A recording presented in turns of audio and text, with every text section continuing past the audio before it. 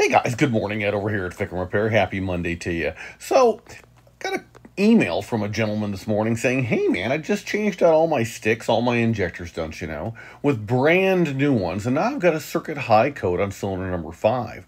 What are the odds that it's the injector or is it the FICM? He asks. Well, so in response to this, what I would say is I would say that the chances of it being the injector are slim, but recognize that people have different definitions of what new means. Does new mean another one from another truck? Does new mean new from the guy down the down the street who rebuilds them in his garage and he's just getting started? Does new mean it's a OEM motorcraft injector? Does it mean that it's a that it's a premium reman from uh, from holders? You know, what does new mean? And so what I wrote back to him is I said, hey, look, man, it depends on what you mean by new. Um, you know, if it if it is a motorcraft or say a holders injector, I doubt seriously it's the injector. It's something else. But go ahead and do a continuity test. You could take your little digital voltmeter and just ohm out the pins in there and see what you got going on because a circuit high code means, hey, uh, one of these things is not like the other. We don't have continuity. It's an open. And so it's like, well, hmm. So is that an injector problem? And so, and if you don't know what to look for, just let's say, hey, look at this injector versus this injector. Do a couple of them and see what's going on. Or there's guides online. You know, Google's your friend here. So outside of that, I told them you could do a wiggle test. You could do a continuity test on the injector harness, and you could on, on the four pins that, that that slide into this bad boy, and you can look to see, hey, do you have continuity from those four pins to their brethren side on the FICM side and say, hey, is my injector harness good or is my injector harness bad? And uh, now to do a wiggle test actually and not just a straight up continuity test actually would do it to do it properly you'd have to remove the harness from the vehicle because you're going to contort it every which way because a wiggle test sounds is exactly what it sounds like right you're literally wiggling the harness as you've got both sides of the digital voltmeter on there so it's going you know beep the whole time and uh, when you're wiggling it around the beep doesn't break it doesn't go beep beep beep beep beep beep beep, beep. it just goes beep right and so just to be clear I know comedic value. Oh my goodness. Thanks for your subscription. I appreciate you. And if you haven't subscribed, why is that? And if you're not reposting, why is that? So I told him that I said, hey, look, if it turns out that you do both of those things and still you're having a problem, yeah, it's going to be the FICM. But then what I didn't get into is, well, why would it be the FICM? And probably what it is, is that um, that following the injector work, probably it is that whoever was cranking on the truck trying to purge the air out of the high pressure oil system did not follow protocol. So what you're supposed to do, for those in the back, what you're supposed to do, and we came up with a new version of this, so pay attention. Step one, hook up the battery charger. Step two, go ahead and use the remote start engagement wire on the passenger side fender well just in front of the um, blower motor. Disconnect that little connector that's about the length of your pinky. Take the free end, touch it to the positive post of the passenger side battery, and that'll engage the starter. All that is doing is engaging the solenoid, sending voltage there and nowhere else. Perfection.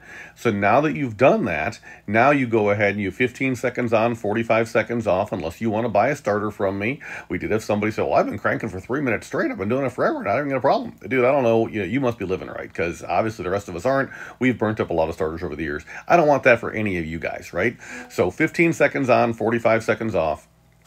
And if you do that, if you do the 15 seconds, 45 seconds off, if you do the 15 seconds, 45 seconds off, then what will happen is you will not uh, end up burning up a starter, yay, and you will also not send any voltage to anything but the starter, yay.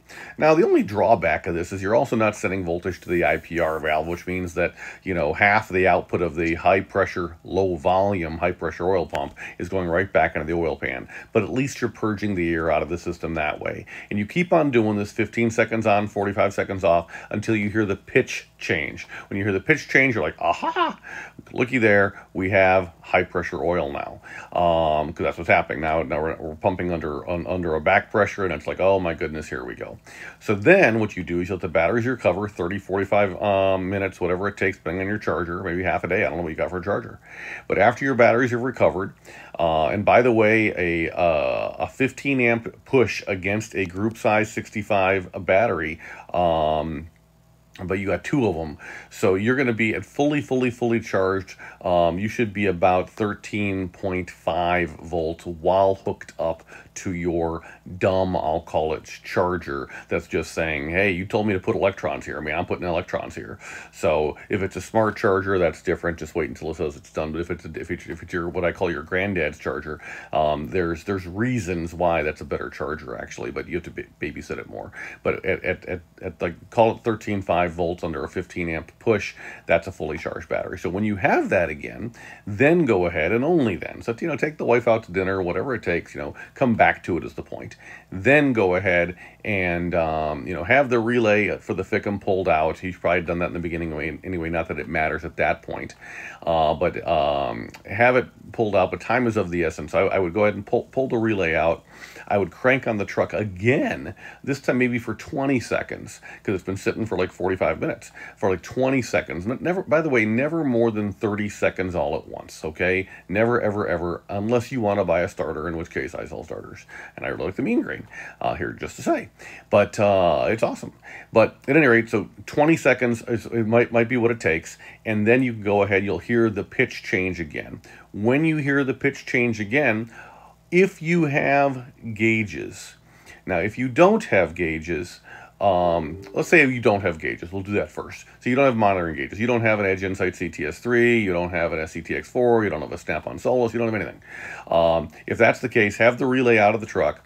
Cr now crank on the truck, you know, uh, 45 seconds after you stop cranking on it with the remote start engagement wire. Now crank on the truck with the key another long enough that you see low pressure pop up on your instrument cluster, okay? And then put the relay back in, the truck should fire right up.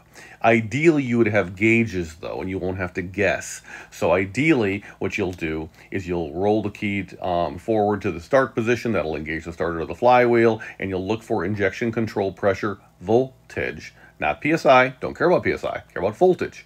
And you're going to look to see that it's 0.24, zero, uh, key on engine off, 0.2 to 0.25 really, and then above 0.93 volts during cranking. And after it's above 0.93 volts during cranking, um, then pop the relay back in, roll the key again, the truck will fire right up. Now, if, you, if you're like, I don't see injection control pressure voltage, all I got is PSI, a cheat code here is you can go ahead and take a look at IPR duty cycle instead. And so when you first roll the key to the on position, it'll be between 14 and 15, very commonly 14.84, and then you're going to roll the key so the starter engages the flywheel, and after the starter engages the flywheel, then you're going to go ahead and you're going to see it go to 85%, but it'll back down. It'll back down in the 40s and 50s when you've established high pressure oil. Actually, when ICP, injection control pressure, desired equals actual. So when that happens, okay, great, get off the key, pop the relay in, then go ahead and start the truck normally. Uh, it'll, it'll fire immediately. After it fires immediately, all risk of, uh, of uh, circuit high codes is now gone from that exercise, but there's still air in the system. Don't think there isn't. So go ahead and let the truck um, warm up to like 120, 130 degree oil, and then do something that very, very, very few people do. Take it for a spin, five minutes at 3,000 RPM or so, 2,800 to 3,200, somewhere in there. We're not going to redline the truck, oh my goodness, no. But go ahead and get up to 3,000 RPM for like five minutes. That'll purge every little tiny bit of air out. And that way, tomorrow morning, when you start the truck, there won't be an elongated uh, crank. It'll just start like normal, and life is good. You'll have protected your injectors, you'll have protected your FICM, you'll have protected your starter, you'll have protected your batteries. Oh my goodness, lions and tigers and bears, oh my. So you'll have done everything right, and then life is good. And hopefully when you changed out your injector, if you had to change out your injector, hopefully you did the HHC nipple cups with their corresponding O-rings, hopefully you did dummy plugs and standpipes if it's a newer one, hopefully you did just the standpipes along with those braided lines if it's an older model log, log rail style truck.